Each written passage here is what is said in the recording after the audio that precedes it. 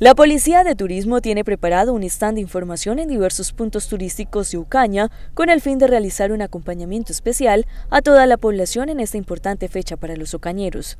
En los diferentes puntos turísticos o, sitios de mayor eh, visita, ah, en este caso la celebración del aniversario de la Virgen de, de Orcoroma, pues eh, se presentarán o estaremos en diferentes puntos como es el sendero hacia el agua de la Virgen, donde mediante la instalación de un stand de información turístico, eh, una patrulla de vigilancia sobre el sector, eh, estará brindando acompañamiento a todos los turistas, a, todos los, a todas las personas que vienen a visitar esta, esta iglesia y a esta Virgen de Torcorome. Se invita a todos los turistas, se invita a la comunidad ocaña con el fin de que utilicemos de la mejor forma cada uno de estos espacios. turismo religioso es gran fuente de economía para los ocañeros. Entonces el respeto, eh, la conservación, el mantenimiento de cada uno de esos sitios eh, implica que cada vez que viene el turista, pues promocione eh, aún más el municipio y eso cada vez, cada año aumente más el turismo en el municipio.